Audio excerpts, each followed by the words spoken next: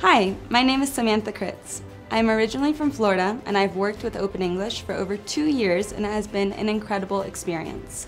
This is my first online teaching job. Previously, I worked in an after-school program in Panama for children and adults who wanted to learn English. This company has made me realize that online teaching is the way to go.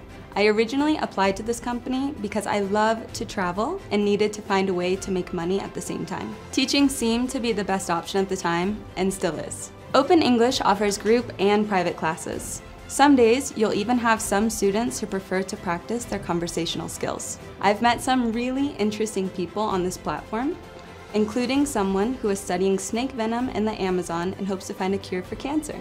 I love that these personal classes allow me to teach and learn at the same time. For me, teaching online is much better than teaching in person.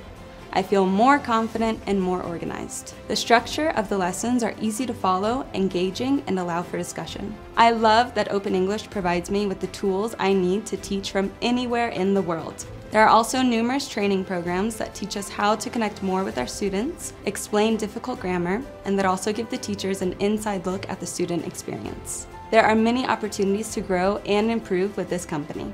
Additionally, if you have a doubt or need support, there are site monitors and substitute teachers who can jump in quickly to help you out. Open English also uses a platform so that the teachers can interact with each other. Even though we live in different places, we are a community. Overall, I really enjoy teaching for Open English. I feel that the students are here because they truly want to learn, and I feel that I am contributing to their goals of improving their lives through English. Open English has made me a better teacher and has given me the keys to the world. I have a flexible schedule, I can continue traveling, and I am happy.